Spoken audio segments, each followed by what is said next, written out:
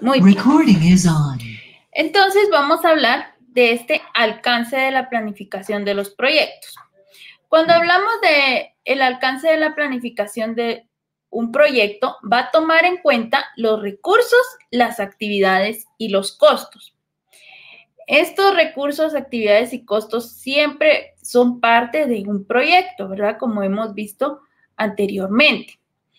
Em, el alcance de la planificación no es más que un análisis periódico de la ejecución de las actividades que servirán para visualizar el ritmo de los resultados de la ejecución.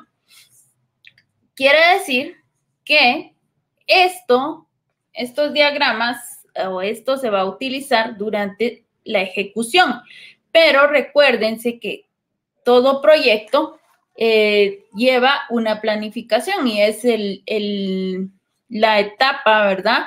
O fase dentro de los proyectos. Y ya después en la ejecución se va a ir realizando el proyecto, pero también vamos viendo si se está cumpliendo lo que se planificó. Por eso em, se realizan estos diagramas durante la planificación.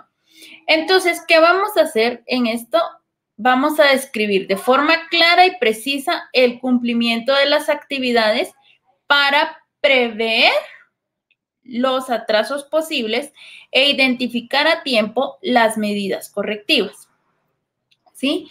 Entonces, porque si ya prevemos qué puede pasar, los riesgos que pueden haber, por qué no se pudieron cumplir estas actividades, entonces va a ser más fácil encontrar una solución antes de estar en la ejecución y no hasta el momento de la ejecución. Y para ello hay dos diagramas número uno está el de este diagrama que donde indica el periodo, las actividades previstas, las actividades realizadas, las discrepancias, las causas, las medidas a tomar y las observaciones. Al hablar del periodo vamos a referirnos al lapso o periodo de tiempo, ¿verdad? ¿Cuánto va a durar esa actividad? Actividades previstas, ¿quiénes son los responsables de hacer el proyecto, de, de hacer las actividades, verdad? Y vamos a ir viendo qué actividades ya están realizadas. Ya puede ser en términos conceptuales, se refiere a cuáles son esas actividades o actividades en términos numéricos, es que vamos a escribir el número de actividades. Por ejemplo, son 10 y entonces escribimos ya realizadas, hay 5, ¿verdad? Por el tiempo, pues vamos bien. O dicen, ah, tendríamos que, por el tiempo previsto, tendríamos que ir ya en el, en el 8, en la 8, ¿verdad? Entonces dice, ¿qué, ¿qué es lo que está pasando? Entonces vamos a notar también esas discrepancias. Cuando hablamos de discrepancias son las razones de las diferencias entre lo que se ha realizado y lo que está previsto. Eso vamos a escribir, ¿verdad? Eran, tenían que estar ya ocho, pero solo hay cinco. Entonces, esas tres, ¿qué pasó? ¿Por qué no se realizaron? Y entonces ya viene la parte de donde vamos a escribir las causas. ¿Cuál fue ese motivo de la discrepancia según su procedencia? ¿Qué fue lo que pasó para que no se pudieran realizar. ¿Verdad? Y luego también vienen las medidas a tomar. Bueno, no se han realizado por tal y tal cosa. ¿Y qué vamos a hacer? Entonces se reajusta o se mide, em, se toman las medidas necesarias para corregir las desviaciones. ¿Cómo vamos a solucionar para que otra vez nos pongamos ya con con el tiempo, ¿verdad? Y necesitamos que estén hechas las ocho y no solo las cinco. Entonces, eso es lo que vamos a ver.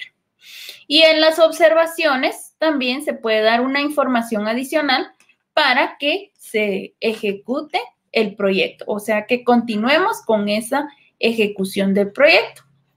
Y hay otra forma, ¿verdad? No solo un diagrama, este también eh, puede ser modificado, ¿verdad? Entonces podemos utilizar, por ejemplo, este otro diagrama eh, de actividades, ¿sí? Las actividades, las previstas y las realizadas y vamos anotando las diferencias ¿Cuánto es la diferencia? Pues, por ejemplo, si eran cinco actividades y ya llevamos eh, cinco realizadas, entonces no hay diferencia, la diferencia es cero y no necesitamos modificar nada, ¿verdad? No necesitamos corregir, pero esto se usa más que todo cuando hay, ¿verdad? Las previstas eran cuatro y llevamos solo dos, ¿por qué? ¿Qué pasó?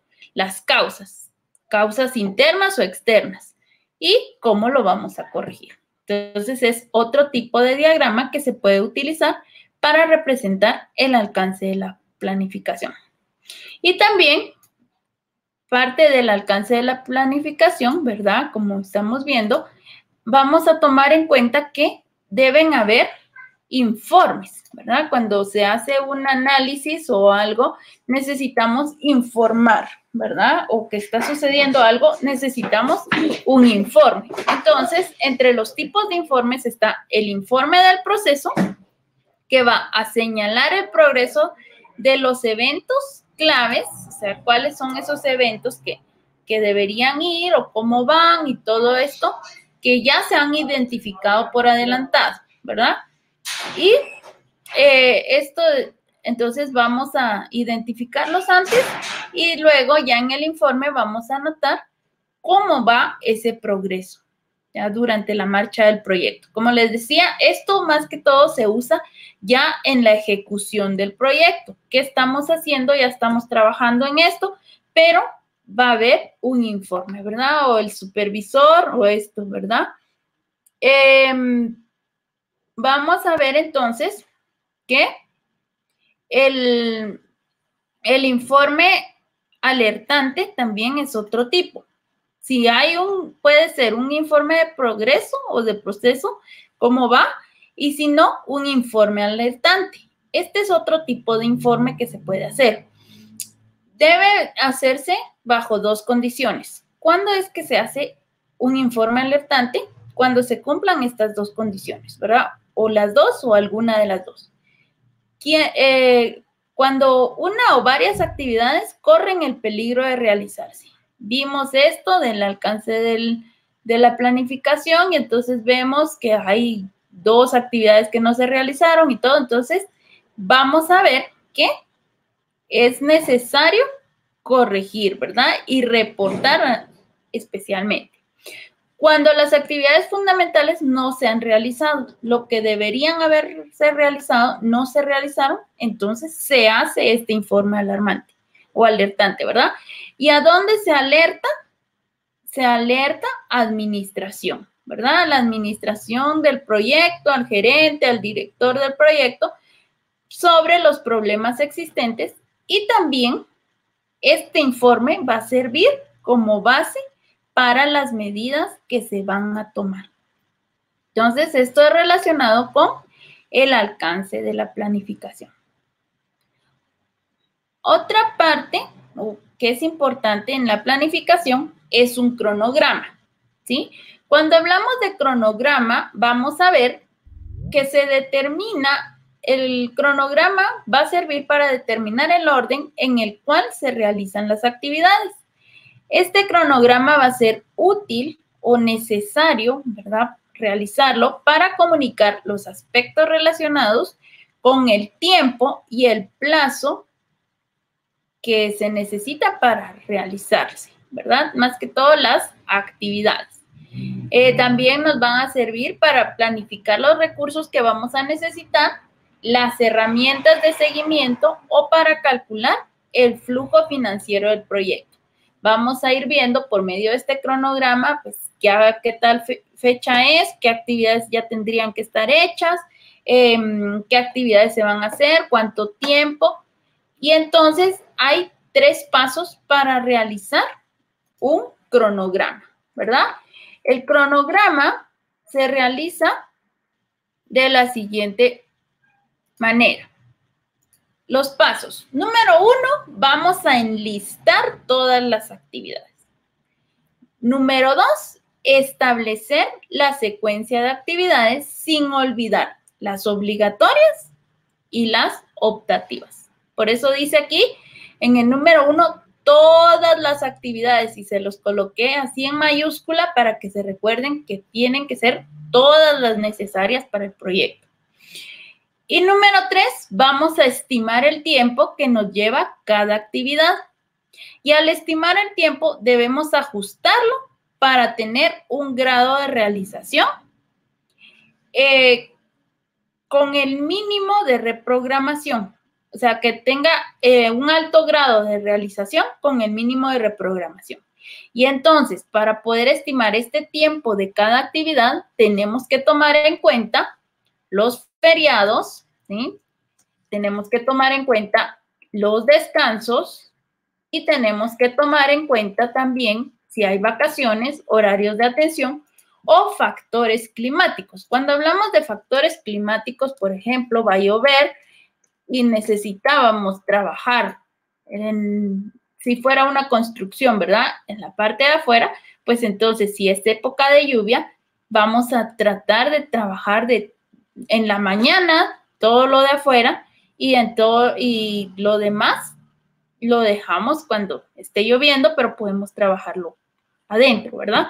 Entonces, ¿por qué tenemos que tomar en cuenta? Porque si no, no lo tomamos en cuenta, y vamos a trabajar y está lloviendo, nos atrasamos, ¿verdad? Entonces, por eso dice que también los factores climáticos. Y también vamos a ver el, entre estos cronogramas hay diferentes, ¿verdad? Como ya habíamos visto el diagrama de Gantt, que vimos la unidad pasada, ahora vamos a hablar del diagrama de PERT. Entonces, Em, vamos a dejar así, ¿verdad? El diagrama de PERT es una representación gráfica de las tareas del proyecto que permite calcular los tiempos de manera sencilla. Vamos a dejarlo ahí y luego la siguiente semana ya les voy a explicar cómo se realiza un diagrama de PERT. Muy bien. Esta es la el tema entonces